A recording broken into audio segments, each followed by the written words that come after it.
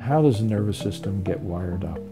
How do neurons know where to go? How can we explain something really complicated using a series of really simple calculations? How does the cortex process information? What computations does it perform? And how is it that doing those computations allow us to, for example, see? How important smells in the environment drives different patterns of activity.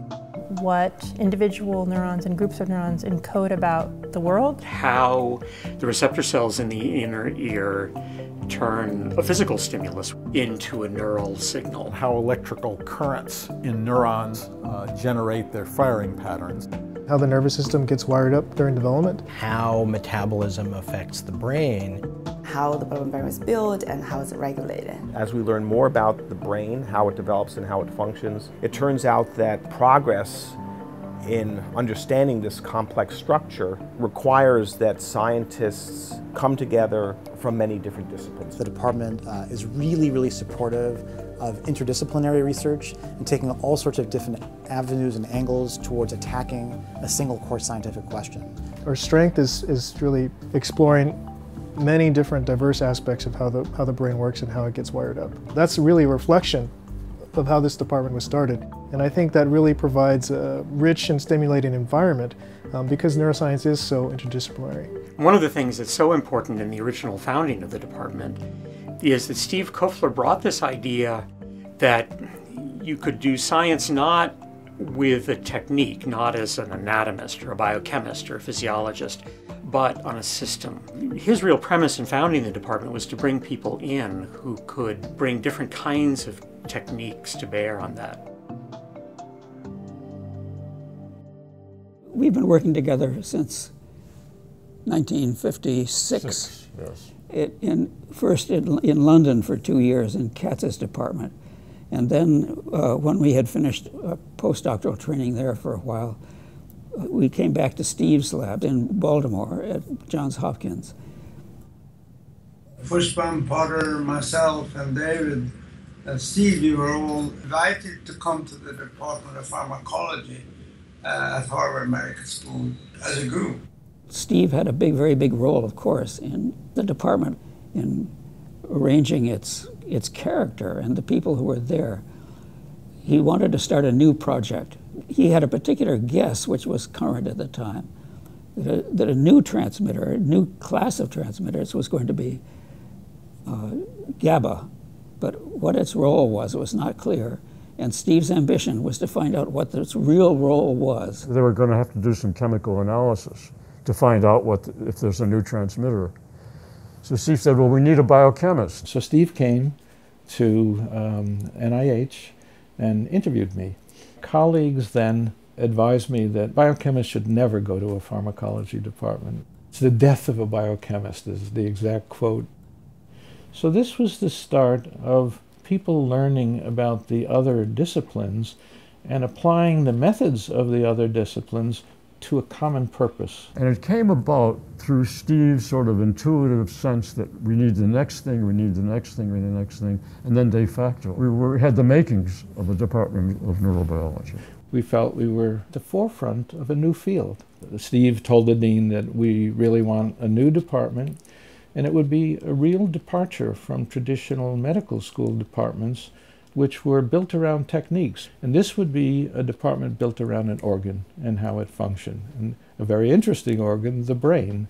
And a very contentious faculty meeting. Uh, this was extensively discussed and then pretty overwhelmingly approved by the faculty. As far as we know, we were the first department of neurobiology. People think science is you have to white coat, you have to look serious, and we, we had a different attitude. We were curious, we had fun, we felt more like explorers than scientists. There is a, a sense of quality around here that, that that was very important. Sense of how you show that something's really true, how to give a talk. The whole sort of feeling of we do things right in this department. We work on what we present and we make it as good as we possibly can. And we make it as clear as we possibly can. And it was started with FERPOT. They worked on their lectures to the Harvard medical students together. And when they gave those lectures, they were without notes, they were memorized. Students thought, whoa, we've never had faculty like this give us lectures like this. When, when David and I came here with Steve, we, we were the ones who had to give the lectures to the medical students. We had to develop a course in neuroscience. So it was a, a joint effort in trying to deeply understand this and transmit a deep understanding to the medical students so that it would be memorable. Steve was sort of the father of the department. He set a standard how to devote yourself to science. Steve would wander around the department and drop into people's labs, come in, sit down, say, What are you doing? And sometimes, if you were doing something that he really liked, he would join in the experiment that you were doing. He was always around. His door was always open. He went to all the functions, seminars. He was asking the questions. He was driving things forward. He would come and stop in and look at what I was doing. He wanted to know what was going on in his family. One thing that struck me from the beginning when I came to the department was how close everybody was. It was like a family. We had dinner together fairly often. In those days, we would have what was called evening meetings where people presented their research. And I think that spirit has continued uh, to now, even though the department's quite large. The lunch room was really important. It was the center of everything. It was the center of the lunch talks. We had evening meetings every six weeks. They happen there. The Christmas party, a beer hour every Friday. Weekly beer hours on Friday which I often sort of build my schedule around. To be to be completely honest with you, uh, I think a, a, lot of people would probably lie if they said that that's not the case for them too.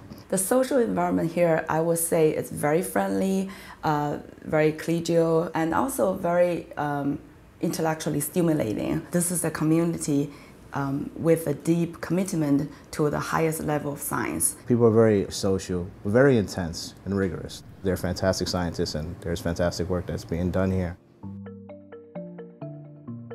In the department, we have about 350 people. We have 33 faculty members. There are about 130 postdocs. We have 125 PIN students and there are about 60 staff members. From the most junior scientist to the most senior established investigator, there's a really strong mentoring structure in place that uh, works and enables everybody to succeed. The PhD program in neuroscience is centered in neurobiology, but it extends across the entire university. So there's a huge number of faculty who are involved in mentoring and training the students. The other thing that's really great is we have fantastic students. It's the postdocs and students to a large extent who really determine the culture of the department in a day-to-day -day way. One of the great things about the department is the diversity of students all over the world, from all sorts of backgrounds, even from all sorts of scientific backgrounds. The students are actually a, a, really fun aspect of the program here because we have them do rotations with different laboratories. And so the students are kind of like vectors of transmission between the laboratories. And I, I think that's a really powerful and healthy aspect of the department. What shouldn't be underestimated is the training of neuroscientists that has occurred at Harvard Medical School over the years. This department has populated corridors of neuroscience across the country and around the world. And I think that, in a sense, might be the greatest legacy. I was in Marge Livingstone's lab at the time, but I took all of the courses that the first year graduate students took. What I remember is that that was really one of the most intellectually exciting times in my life. I mean, I, it felt like, like I was prying my head open and just pouring in all this fascinating knowledge about the nervous system.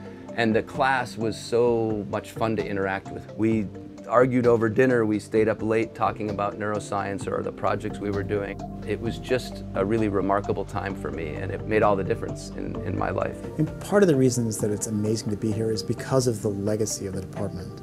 Neurobiology as a modern field was founded right here it's really cool when you take a seminar in a class and you see actual figures, like the actual drawings from seminal papers on the wall, right there, like as you're learning right next to them.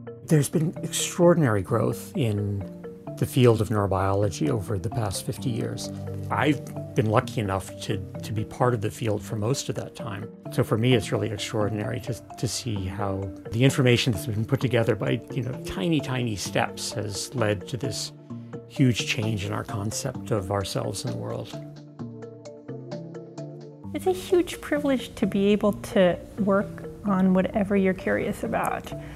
Science is scary because you don't know what's going to happen. If you did, it wouldn't be science, right? And that's most clear in a department like this, where I think people have core values of curiosity and just intense engagement in each other's work.